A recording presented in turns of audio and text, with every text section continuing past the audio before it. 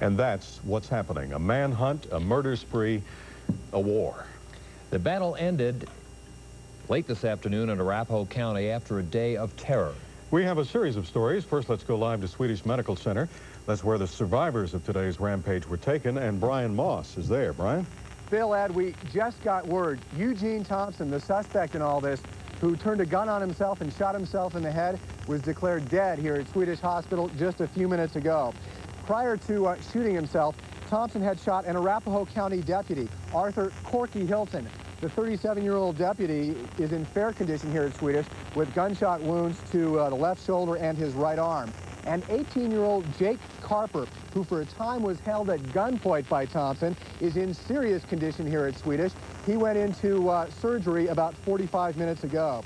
A second Arapahoe County deputy, who at first was thought to have been shot by Thompson, in fact was only hit by flying glass. Dan Thomas was released from Swedish about 45 minutes ago as well. And now, as Jim West reports, the violence that put these people in the hospital began very early this morning. It began here in Jefferson County about 3 o'clock this morning. A woman telephoned the county emergency number to report a burglary in progress, but hung up before police could get any information.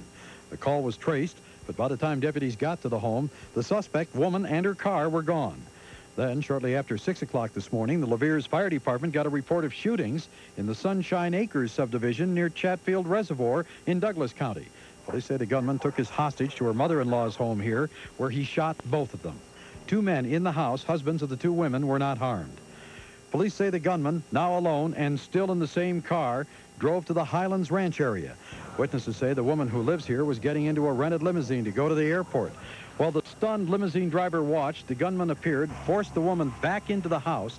Police say he separated the woman from her young child and husband and then assaulted her.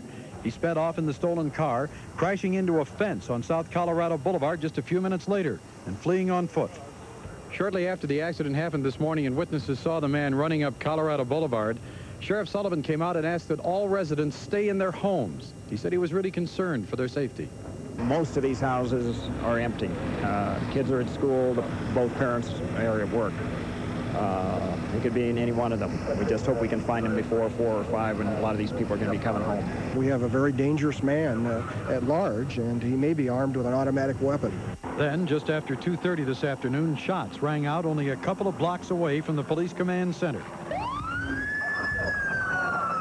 In just a matter of seconds, one Arapahoe County deputy fell to the gunman's bullets, and a second was injured by flying glass and debris. Sheriff Pat Sullivan gathered one of his fallen men into his arms, placed him in his own car, and sped backwards out of the area exposed to the gunman.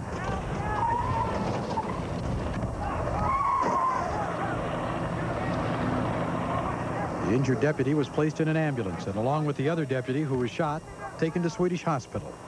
The owner of this house, a hostage for five hours and also wounded, told oncoming police that the gunman was upstairs on the second floor. And that's where deputies found 20-year-old Eugene Thompson shot through the head, apparently by his own hand. This is the weapon Thompson apparently used to wreak his death and injury this long day. 11, a weapon of war used against two sheriff's deputies today the suspect murder weapon in two murders earlier today. And then it was over. But for the victim's friends, family, and fellow officers, the question, why, echoes in their minds. Jim West, Criminal Justice Specialist, News 4. Once again, the initial information on all this was that two Arapahoe County deputies had been shot. But as you heard Jim West just report, only one was shot. The second, Dan Thomas, was hit by flying glass. He was treated and released here at Swedish Hospital about 45 minutes ago. Thomas is a senior deputy with the Arapahoe County Sheriff's Department. He was sitting in the back seat, apparently with his wife. He smiled as he left. He uh, got into that car under his own power. He was, again, only hit by flying glass. He had been involved in a house-to-house -house search when the gunfire began, but apparently it was a bullet that went through some glass. It shattered the glass. The glass hit him. He was treated here and then released. But again, the most up-to-date information, Eugene Thompson, the suspect in all this, is dead. He was pronounced dead just a few minutes ago here at Swedish Medical Center. So the toll today, three dead, two others shot and wounded. Reporting live from Swedish, Brian Moss, News 4. Okay, thanks, Brian. Yeah.